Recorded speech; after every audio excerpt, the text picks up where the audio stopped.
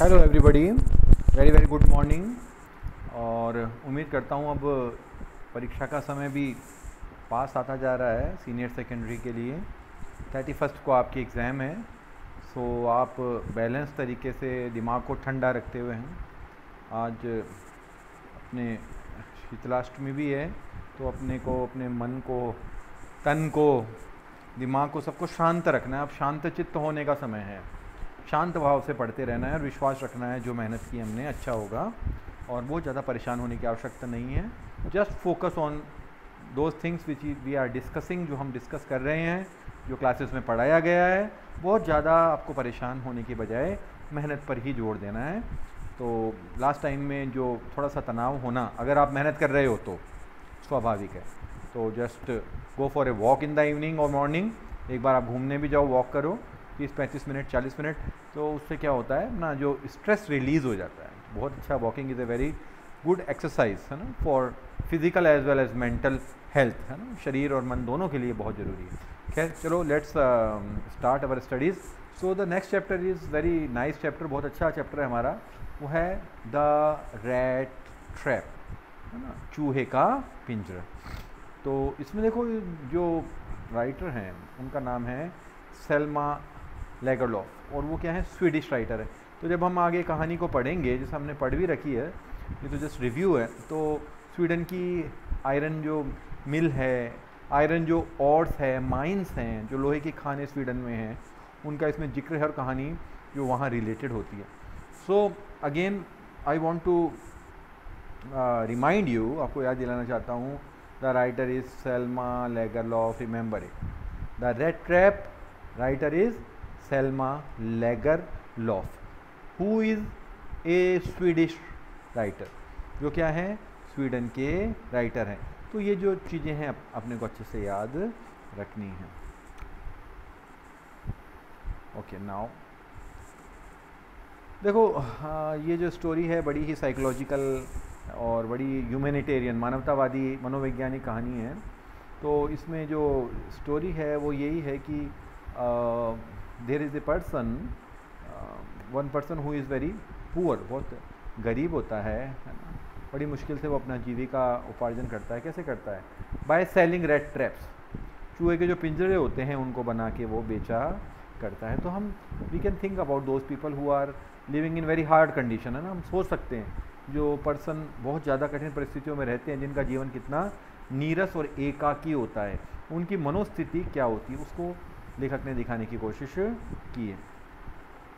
तो देखो, वो जब भी घूमता था तो एक दिमाग विचार उसके दिमाग में आता था कि क्या है, सारा संसार एक रेड ट्रैप है, ठीक है?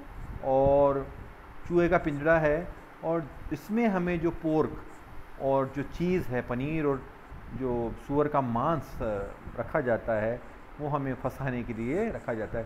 देखो, ये कल्चर का थोड़ा सा असर है। ये एक स्वीडिश राइटर है तो वहाँ पोर्क वगैरह खाते हैं, इसलिए वही पिंजरे में रखते होंगे अपने यहाँ तो रोटी रखी जाती है। और मतलब वही है कि हम उसको देख के हम भूल जाते हैं कि हम पिंजरे में फंसने वाले हैं। ये विचार उसके दिमाग में बार बार आता रहता था। तो देखो, क्या था? एक डार्क इवनिंग थी, शाम का टाइम था, है ना? तो अब उस समय उसने वहाँ देखा कि बहुत ज़्यादा ठंड है तो वहाँ एक, क्या था, एक फैक्ट्री थी आयरन ओर की फैक्ट्री थी so he was going here and there वो इधर उधर घूम रहा था just a minute I just misinterpreted a little bit थोड़ा सा मैंने आपको आगे का बता दिया। The story is that dark evening में सबसे पहले उसको एक कॉटेज दिखाई दी। आयरन और वाली स्टोरी बाद में आती है। तो डार्क इवनिंग में अंधेरा था, उसको एक छोटी कुटिया दिखाई दी, वो वहाँ पर गया और वहाँ पर क्या था? देर वाज ए पर्सन है ना, जो मालिक था, वो बड़ा सोशल था फ्रेंडली था because he was alone himself वो अकेला रहता था। तो ये होता है ना, जो आदमी अकेला होता है, बड़ा खुश होता है किसी को देख के कि एटलीस्ट कम से कम कोई बात करने के लिए उसके पास आया है। तो उसने उसको पोरिज पोरिज दलिया को बोलते हैं उसके लिए दलिया बनाया और उसको जो टॉबेको तम्बाकू रोल उसको दिया, बड़ा जेनरस था, ठीक है? और साथ में जेनरस के साथ साथ क्या था वो? वो फ्रेंडली था और अपनी बातें भी बता देता था। तो उसने उसको बताया जो होस्ट था होस्ट कौन था? वही व्यक्ति था। उसने उसको बताया कि उसके पास में एक बॉसी, काव है, हट्टी कट्टी गाय भी है और उससे वो थर्टी क्रोनोर पेमेंट उसको लास्ट मंथ उसको मिला था उसके दूध को बेचने से। देखो, ये जो याद करने वाली चीज़ है, थर्टी क्रोनोर। अपने को मुद्रा भी याद रखनी है, जो मुद्रा क्या है वहाँ की, स्वीडन की, उस समय की, क्रोनोर। तो remember it so he told that person told his host that he was making thirty kronor per month by her bossy cow है ना, जो उसकी गाय की क्रीम वगैरह बेच के वो इतने थर्टी करोड़ जो है कमाई करता था। अब उसके बाद में उसको विश्वास नहीं हुआ। एक बड़ी, बड़ा अमाउंट बता दिया तो उसने उसको विश्वास दिलाने के लिए कि उसका पाउच लटका हुआ था, वो दिखाया। और उसमें कितने पड़े हुए थे? Three ten kronor bills bills बोलते हैं रुपए को। विदेशी पार्ट है ना तो इसमें अपने यहाँ रुपीज़ बोलते हैं, वहाँ बिल्स बोलते हैं। ये थोड़ा सा लैंग्वेज का फ़र्क कल्चर के हिसाब से आ जाता है। देखो three wrinkled ten kronor bills ये भी आपको याद रखना है। है ना? थ्री रिंकल्ड टूडे मुड़े हुए, है ना? टेन क्रोनोर तीन थे दस दस के क्रोनोर बिल मतलब थर्टी क्रोनोर थे। अपने को याद रखना ही अपने एग्जामिनेशन में आंसर देते हुए काम में आ सकता है कि कितने पैसे थे, जो वो बाद में जब हम देखेंगे, चुराता है ना? अच्छा जी अब क्या होता है, वो गरीब आदमी था, उसका मन ललचा गया, जो हम पढ़ रहे हैं इसमें रेड ट्रैप तो ये उसके लिए बैट था बैट बोलते हैं लुभाने के लिए कोई चीज़ रखी जाए, उसको बैट बोलते हैं बी ए आई टी तो जो ये पैडलर था या जो घुमक्कड़ व्यक्ति था, है ना, अब क्या हुआ? सुबह समय पे उठे और वो अपने रास्ते चला गया, वो अपने रास्ते, मालिक चला गया, वो भी अपने रास्ते चला गया। ठीक है? But they went there on way लेकिन बिफोर द डोर वो दोबारा आया और आके क्या किया? विंडो पे गया, वहाँ का जो ग्लास ब्रेक किया और वहाँ से वो पैसे खिड़की को खोल के निकाल लिए। अब पैसे तो निकाल लिए, उसके बाद की स्टोरी है, वो बड़ी ही अनइमेजिनेबल है, अकल्पनीय है। अब उसके बाद उसने चोरी कर ली, मन में गिल्ट होता है। क्या किया जाए? तो उसने मेन रोड छोड़ करके, वहाँ तो उसको पकड़ सकते थे ना? फॉरेस्ट में चला गया। अब फॉरेस्ट में झाड़ियाँ थी बड़े बड़े पेड़ थे, तने थे और फॉरेस्ट में रास्ता भी नहीं बना हुआ होता। तो वहाँ पर वो भटक गया और भटकता भटकता बार बार एक ही जगह पर आ रहा था, है ना? He was in the same place again and again okay so हमें याद रखना है थर्टी क्रोनोर ठीक है? तीस क्रोनोर थे। और जो उसने चोरी किए थे दैट इज़ इंपॉर्टेंट ऑल्सो अच्छा अब देखो after that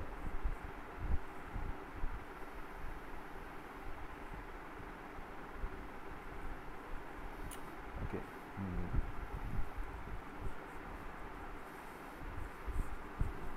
okay let's see देखो, उसके बाद में घूमते घूमते लास्ट में उसको रास्ता नहीं मिल रहा था, उसको लगा वो तो वहाँ उसकी डेथ हो जाएगी। लेकिन उसको अचानक ठक ठक की आवाज़ सुनाई दी आयरन और कहीं दिखाई दी, उसको लोहे की मिल कहीं दिखाई दी। ठीक है? तो उसने वहाँ पर पहुँचा वो और वहाँ पहुँच कर उसने वहाँ जो आदमी काम कर रहे थे, उनसे पूछा। ठीक है? और उससे पूछने के बाद में हॉटी कंसेंट, एक वर्ड और इन्होंने यूज़ किया है, हॉटी कंसेंट। जैसा अमूमन होता है, देखो, हॉटी कंसेंट। घमंड में सहमति घमंड पूर्वक जब उसने जो वहाँ वर्कर काम कर रहे थे, उनसे पूछा, यहाँ मैं कि रात बिता सकता हूँ? क्योंकि अंदर आयरन और थी ना, वहाँ पर भट्टी जल रही थी, गर्मी थी, वहाँ बहुत ठंड होती है स्वीडन में। सर्दी का भी समय था, वैसे भी वहाँ ठंड बहुत होती है। तो उसने उसको एक तरह से हॉटिस कंसेंट है ना, उदासीनतापूर्वक उसको सहमति दे दी, ठीक है। अब वो साहब वहाँ पर सो गया। ठंड से बचने के लिए बाहर जंगल था तो अब वहाँ पर यह हुआ कि जो उनका मालिक था, वो आया वहाँ पर। ठीक है? और मालिक जो आयरन मास्टर था, जो पूंजीपति था, जो लोहे की उस मिल का मालिक था, उसने आया और कहा he walk close up to him looked him over very carefully और वो ध्यान से देखा और उसने कहा, ओ you Nils Olof. He said how you do look the man with the rat trap had never before seen the man उसको ऐसा भ्रम हुआ कि उसका कोई पुराना मित्र है ये। तो उसने कहा रे तुमने ये क्या हाल बना रखा है? उसको ऐसा लगा, है ना? और उसके, इसके साथ उसको लगा, बहुत बुरा हुआ, उसका कोई पुराना मित्र था। और उसको लगा, ये उसका पुराना वही मित्र है जो फौज में कॉमरेड था। काम करता था। नाउ देखो, इसमें क्या था? उसके बाद में जब उसने उसको कहा तो वो कह सकता था कि I am not that person है ना? आई एम नॉट नील सोलफ लेकिन उसने उसको लालच आ गया। उसने कहा, भाई पूंजीपति हो सकता है उसको कोई फ़ायदा दे दे। तो उसने मना भी नहीं किया। अब वो उसको जिद करने लगा, जो आयरन मास्टर था कि मैं आपको अपने घर पे लेके जाऊँगा, लेकिन अब वो तैयार नहीं था क्योंकि उसने चोरी कर रखी थी। थर्टी करोड़ उसकी जेब में थे, इसलिए वो डरता था कि उनको पुलिस या जो शेरिफ होते हैं वो पकड़ लेंगे। अब जो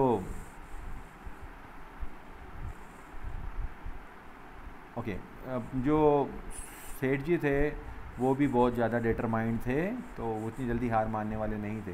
देखो, उन्होंने यहाँ की है it looks as though captain want to stay with you tonight he said to the master blacksmith जो मेन कारीगर था, उसने उसको कहा, ये नाम याद रखना कैप्टन वॉन स्टेल तो वो जिस कैप्टन को जानता था, जिसको वो समझ रहा था, उसने कहा लगता है आपके साथ ही रहेंगे आज तो।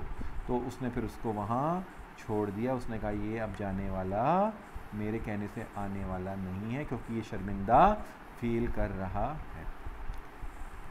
ओके अब देखो इसके बाद में क्या हुआ? इसके बाद में फिर कोई आया, जो आयरन मास्टर था, उसकी बेटी आई और उसने आके कहा my name is Edla Williamson remember it ये कैरेक्टर्स के नाम हमें याद होने चाहिए। एडला विलियमसन कौन थी? ये बड़ी अच्छी इसमें पात्र है, दिखाई गई है, जिसमें बहुत काइंडनेस भी है है ना? और बहुत गुड हार्टेड है, अच्छे हृदय की है, दयालु है। उसका नाम आपको याद रखना है एडला विलियमसन अब उसकी बेटी आई वहाँ पर। और आके उसने सेट द यंग गर्ल उसने कहा कि मेरे पापा यहाँ आए थे।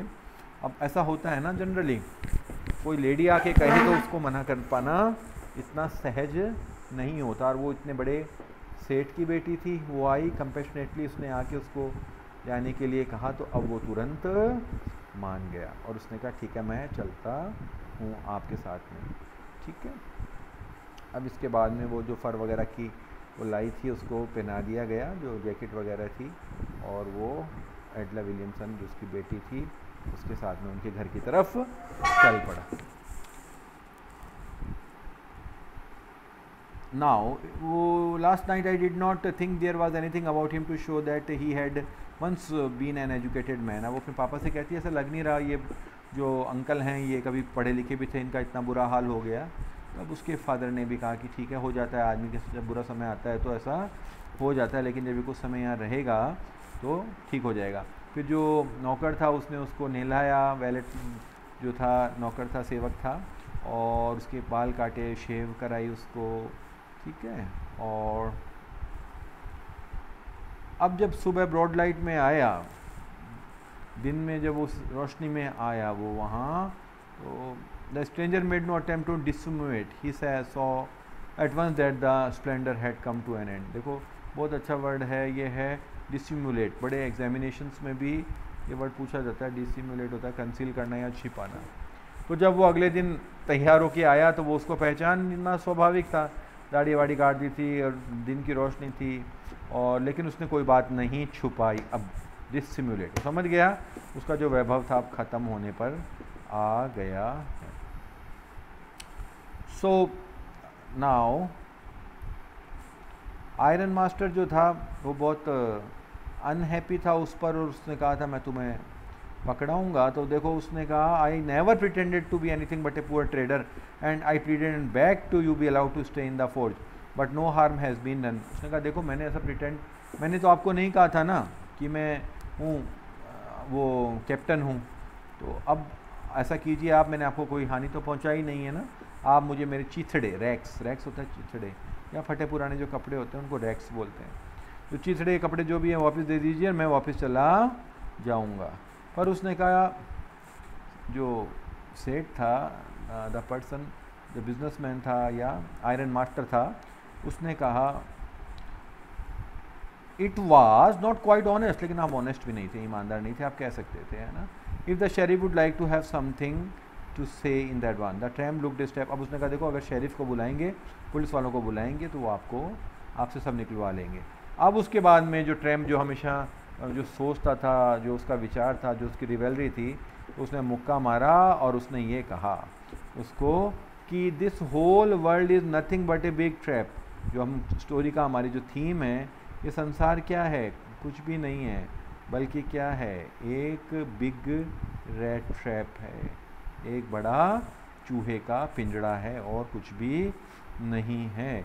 और क्या होता है? चीज़, राइट्स और ये जो rinds and bits of pork, ये जो मांस वगैरह है, जो सुअर का मांस है या जो पनीर है, ये रख के हम गरीब आदमियों को फंसाया जाता है। ये बात उसने कही जो वो हमेशा सोचा भी करता था। ये बात उसने उसको सेठ जो थे, आयरन मास्टर थे, उनको कही। और must remember that a back day come when you yourself may want to get a big piece of pork and then you will get caught in the trap साथ में उसने कहा आज आप मुझ गरीब को पकड़वा दोगे लेकिन याद रखना ये संसार तो चूहे का पिंजरा है और आप भी इस तरह से कभी लालच में फंस जाओगे इस पिंजरे में. अब वो आयरन मास्टर को दया आ गई और वो हंसने लगा। सो so, उसने कहा चलो ठीक है but now get out of here as fast as you can लेकिन अब यहाँ ये क्रिसमस ईव क्रिसमस से पूर्व की संध्या that is called Christmas Eve है ना? क्रिसमस से जो पहले की शाम होती है, उसको क्रिसमस ईव बोलते हैं। उसने कहा, वो ठीक है, लेकिन अब यहाँ से तुरंत चले जाओ। ठीक है, मैं शेरिफ को नहीं बुलाऊँगा पुलिस को नहीं बुलाऊँगा but now immediately go out from here यहाँ से चले जाओ। अब जैसे वो दरवाज़ा खोल रहा था डॉटर उसकी आई और उसने अपने पापा से रिक्वेस्ट की कि आप इसको आज रहने दीजिए, यहाँ पर ये बहुत गरीब आदमी है है ना? और इसने कभी कुछ ऐसा फ़ंक्शन भी नहीं मनाया होगा। तो उसने, हालाँकि उसके फादर ने इस बात को एक्सेप्ट नहीं किया, लेकिन बेटी की जिद के आगे वो कुछ नहीं कर पाए। तो उसके बाद में उन्होंने उसको रख लिया। ठीक है? वहाँ पर, अब who had interceded for him वो उसको देख रहा था, जो बेटी को, जिसने वो बीच बचाव किया था। The stranger did not cause any trouble because he did nothing but sleep अब जब वो वहाँ रहा तो उसने कुछ भी नहीं किया। नथिंग बट स्लीप बहुत इंपॉर्टेंट है। वो बेचारा नींद भी पूरी नहीं कर पाता था कभी अपनी तो उसने he did nothing but sleep he did nothing but sleep सिर्फ़ सोता था पूरे दिन ठीक है? होल आफ्टरनून पूरी दोपहर सोता था फिर खाना खाता था फिर सो जाता था। ये था। और आ, इसके बाद में and the man with the rat trap did not answer and the next morning the okay उन्होंने कहा जो उसने सूट पहना हुआ था, बेटी ने कहा ये उसके पापा की तरफ़ से उसको दिया गया है। और द मैन डिड नॉट उसने आंसर नहीं दे पाया, उसको बड़ा अम्यूज़मेंट था। आश्चर्य था उसको और ये भी कहा कि जब भी तुम्हें क्रिसमस अगर मनानी हो कभी मनाने का मन हो, आप यहाँ आना चाहते हो तो यू आर वेलकम हियर ठीक है, तुम यहाँ आ सकते हो। यहाँ तक की स्टोरी है। इसके बाद में जो क्लाइमैक्स है, जो सस्पेंस है, उसका ये है, अगले दिन वो लोग चर्च में जाते हैं और चर्च में जाने पर चर्च में जाने पर उनको पता चलता है कि वो क्रॉफ्टर वाली जो स्मॉल फार्मर वाली घटना थी, जहाँ उसने थर्टी क्रोनोर चुराए थे। अब थर्टी क्रोनोर याद रखना भाई, बहुत बार मैंने रिपीट कर दिया, चुराए कितने थे? थर्टी क्रोनोर क्या होता है, बहुत बार एग्जामिनेशन में हमें याद नहीं आता एग्जैक्ट फिगर ठीक है? और एडला विलियमसन नाम याद रखना। बेटी का नाम एडला विलियमसन था। जब वो चर्च में गए, वहाँ पता पड़ा कि वही व्यक्ति है जिसने थर्टी क्रोनोर चुराए थे, चोर है। अब उसके पापा को बहुत गुस्सा आया, वो जल्दी जल्दी आए और आके उन्होंने देखा कि भाई वो यहाँ से क्या चोरी करके चला तो नहीं गया, भाग तो नहीं गया, वो तो एक चोर है, चोर को हमने घर में रखा था। और जब वो वहाँ आए तो उसने विलियमसन के नाम पे एक पैकेट छोड़ा हुआ था और जो वैलेट था, सेवक था, उसने कहा कि वो तो कुछ भी नहीं लेके गया, यहाँ से एक लिफाफा छोड़ के गया। अब ये बहुत अच्छा इसमें जो इसका एंड है, कि उसमें वो यही कहता है since you have been so nice to me all day long as if I was a captain मुझे आपने कैप्टन की तरह ही ट्रीट किया आप लोगों ने तो मैं बहुत थैंकफुल हूँ आपका, और I do not want you to be embarrassed at this Christmas season by a thief मैं नहीं चाहता आपको अपमानित होना पड़े एम्बेरस्ड बहुत अच्छा वर्ड है, इसको याद रखना और यूज़ करना चाहिए अपने को। एम्बेरस्ड ठीक है?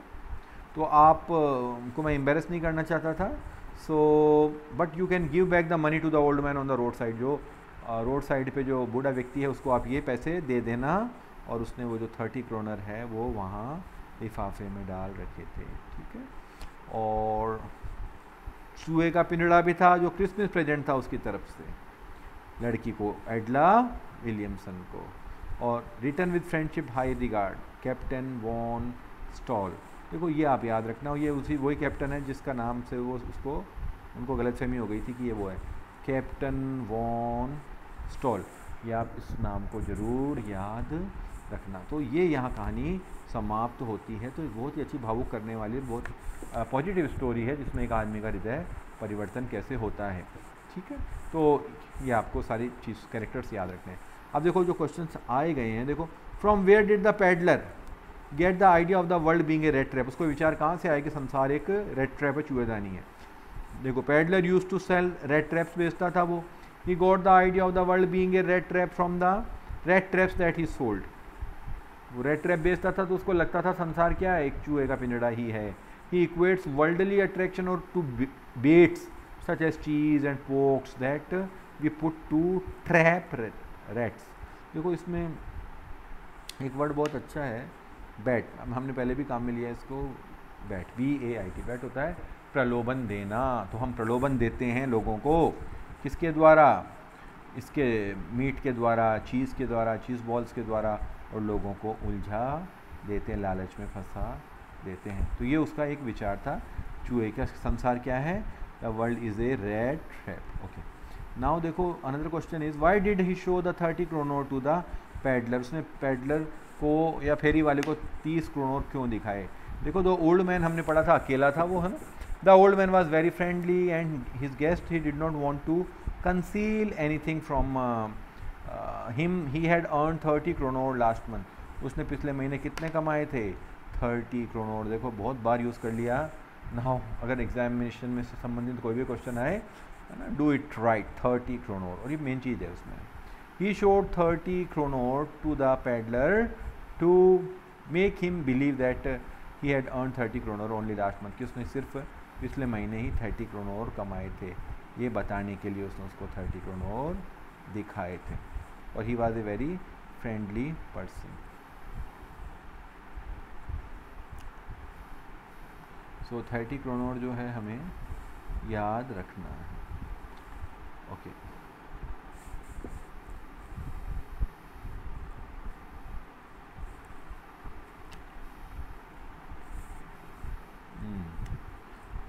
Why was Edla happy to see the gift left by peddler peddler ने जो गिफ्ट छोड़ी उसको एडला देख के खुश क्यों हुई थी? हमने देखा ही है। बिकॉज़ ही रिपेंटेड उस पर पछतावा किया। और also he did not steal any thing rather he gave her back thirty kronor तो देखो peddler left for Edla rat trap एक रेड ट्रैप दिया था and the money he had stolen और वो पैसा दिया था जो उसने चोरी किया था। He had requested her to return the money to its owner कहा था, ये ऑनर जो मालिक है, उसको दे देना। Edla was happy to see the gift as at thought that the peddler had repented over his mistake क्योंकि उसने रिपेंट उसने पछतावा किया था। Why did the peddler sign himself as Captain von Stahle जो पेडलर था, उसने अपना नाम कैप्टन वॉन स्टॉल क्यों लिखा? कैप्टन वॉन स्टॉल उसने अपना नाम, ये भाई याद रखने वाला है कैप्टन वॉन स्टॉल याद रखना। कैप्टन वॉन स्टॉल, वो नाम था जो उनको लगा, वो पैडलर था। ठीक है? तो ये भी काम का है। The peddler was a thief but Edla and her father warmly received him as a captain von Stahle this friendly treatment change his mind so he wanted to behave as a captain that is why he sign himself as captain von Stahle ठीक है? उसने अपने आप को इसलिए sign किया captain von stall क्योंकि उन्होंने उसके साथ बहुत अच्छा व्यवहार किया था। तो इसलिए वो कैप्टन वॉन स्टॉल के रूप में ही वो जानते थे, इसलिए उसने वो किया। अच्छा साहब why what made the peddler finally change is way उसका रास, जो बाद में सुधार कैसे आया? पैडलर कैसे चेंज हो गया? उसका हृदय परिवर्तन कैसे हो गया? देखो the peddler was a poor man he sold rat traps he did not earn much money by selling rat traps वो ज़्यादा पैसे तो कमाता नहीं था। So he so at times he used to beg और स्टील या तो चोरी करता था या क्या करता था? भीख माँगता था। He was never welcomed anywhere कहीं भी उसको वेलकम नहीं है। जैसा होता है अमूमन जो गरीब लोग या जो पैडलर होते हैं या जो फेरी वाले होते हैं, उनको बहुत बार दुत्कार दिया जाता है। Nobody cared for him so he had developed a kind of aversion to the people लोगों से थोड़ी घृणा हो गई थी उसके मन में अराउंड हिम जो उसके आसपास होते थे। That is why he paid little attention to the good treatment that he receive from the crofter इसलिए उसने ध्यान नहीं दिया। वो जो किसान था छोटा क्रॉफ्टर छोटा किसान जो था, उसने अच्छा ट्रीटमेंट दिया, उस पर भी उसने इसलिए ध्यान नहीं दिया था। When he was mistaken for a captain he took advantage of the that situation देखो यहाँ वैन ही वॉज़ मिस्टेकन ये याद रखना mistaken for a captain captain von Stahle हमने भी देखा है ना? तो जब उसको गलती से कैप्टन समझ लिया गया, तब उसने इस बात का फ़ायदा उठाया और उसने इस सिचुएशन से फ़ायदा लेते हुए। But finally when he came in contact with the iron master's daughter Edla Williamson he recalled that the world was not so bad his meeting with Edla made him change is way तो जो, ये देखो, इस बहुत अच्छे, इसका crux है, कहानी का जो सार है, वो his meeting with Edla made him change his way इसको याद कर लेना, समझ लेना his meeting with Edla Williamson change his ways Edla Williamson के साथ जो उसकी मीटिंग थी, उसने उसके रास्तों को बदल दिया।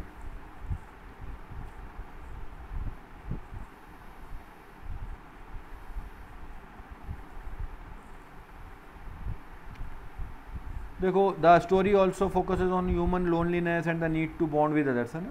तो इसमें आपको याद देखो, rat trap seller, old crofter old crofter भी अकेला था ना? अपने को ध्यान रखना है, द रेड ट्रैप। देखो, the thing is that how many question you are reading. जितने ज़्यादा आप प्रश्न पढ़ोगे, जितना आपको नॉलेज होगा ना, आपकी राइटिंग में वो निखार आता है। मुझे एक बात बड़ी अजीब लगती है, बच्चे कहते हैं पाँच या सात या दस क्वेश्चन हम कर लें। इसकी बजाय हम सारे क्वेश्चन को या इंपॉर्टेंट क्वेश्चन को अच्छे से देख के अगर अपनी भाषा में उसको लिखें, that will be very very nice and original also ठीक है? तो देखो, इसमें rat trap seller, he was है ना? अकेला था ओल्ड क्रॉफ्टर वो भी अकेला था iron master also because he lives with his daughter और हिज वाइफ इज़ डेड ठीक है? तो ये कहानी लोनलीनेस की भी है, कि जो लोग अकेले हैं, उनकी कहानी भी है एकाकी जीवन जी रहे हैं, उनकी कहानी भी है। Okay okay.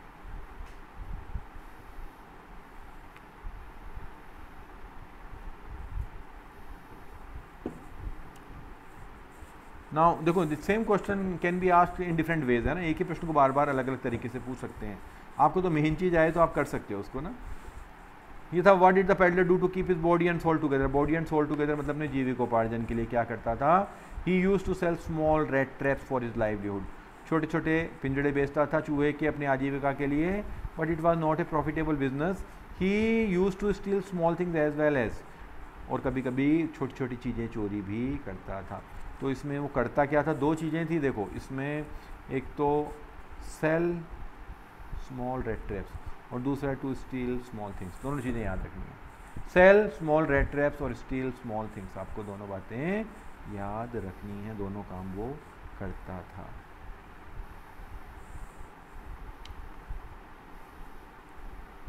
How did Edla persuade her father to let the peddler stay in their home till Christmas Christmas तक के लिए एडला ने कैसे मनाया अपने पापा को? तो देखो for this Edla showed him that no harm would be done to him and that he would be allowed to leave whenever he like तो या एडला ने इसको मनाया पैडलर को, कैसे? तो ये उसको उसने अश्योर किया था कि उसको कोई नुकसान नहीं पहुँचेंगे और जब वो चाहेगा allowed to leave whenever he like जब भी वो चाहेगा, उसको जाने दिया जाएगा तो इससे उसको थोड़ा अश्योरेंस मिल गया। Allowed to live whenever he likes जब भी उसको जाने का मन होगा, उसको जाने दिया जाएगा। तो इस बात से वो तैयार हो गया था। Who was Edla how did he change peddler's behaviour है ना? एडला अपने को पता ही है Miss Edla is the eldest daughter of is iron master सबसे बड़ी बेटी थी। She lives with her father अपने पापा के साथ रहती थी। As for her appearance she is not all pretty but inwardly she is the most beautiful lady बहुत अच्छा बात इन्होंने कही है। तो अपेरेंटली देखने में वो इतनी वो खूबसूरत नहीं थी बट हृदय से वो she is the most beautiful बहुत सुंदर थी वो। शी इज़ वेरी मॉडेस्ट थी, विनम्र थी काइंड थी जनरस थी। She succeeded in persuading the peddler to stay with them on Christmas Eve है ना? क्रिसमस की पूर्व संध्या पर रहने को तैयार किया था। Miss Edla had a deep insight into human psychology she easily understands that the peddler is very much scared उसको मनोविज्ञान की बहुत अच्छी समझ थी। जब उसको पता था ना, वो बहुत ज़्यादा डर गया है। जो पैडलर था, फेरी वाला था, तब उसने उसको अश्योर किया था कि उस पर कोई दबाव नहीं रखा जाएगा और जब वो चाहेगा, उसको घर से जाने दिया जाएगा। तब वो तैयार हो गया था। When her father wanted to expel the peddler from his house it was Edla who did not let him go ये भी इंपॉर्टेंट है, जब वो पहचान हो गई, उसको रिकोगनाइज हो गया, उसके पापा उसको भेजना चाहते थे, पर पैडला ने नहीं जाने दिया। So she was very good lady very kind hearted lady बहुत अच्छी महिला थी। Thus her generous behaviour brings a change in the peddler तो उसका जो उदारवादी रवैया था, उदार रवैया था, उससे जो पैडलर था, उसका हृदय में बहुत परिवर्तन आया। तो ये लेंदी चैप्टर था, इसलिए आज अभी इस वीडियो में सिर्फ़ चैप्टर ही कर रहा हूँ मैं। अब नेक्स्ट वीडियो में आपको पोइम और चैप्टर साथ में करेंगे। तो अब धीरे धीरे हम बुक्स को समाप्ति की ओर आ रहे हैं और इसके बाद ग्रामर करेंगे। देखो कर तो हम सब कुछ चुके हैं क्लासेस में, ऐसा नहीं है। लेकिन लास्ट टाइम का जो रिव्यू होता है या जिसको क्रैश कोर्स बोलते हैं, वो बहुत इंपॉर्टेंट होता है। इसलिए आप लोग ज़रूर इन वीडियोस को देखना। आपकी मेमोरी में सारी चीज़ें रिफ़्रेश हो जाएँगी, दोबारा तरोताज़ा हो जाएँगी। और it will be very beneficial for you आपको बहुत एग्ज़ाम में इसका फ़ायदा मिलेगा, ऐसा मेरा विश्वास है ना? Thanks for watching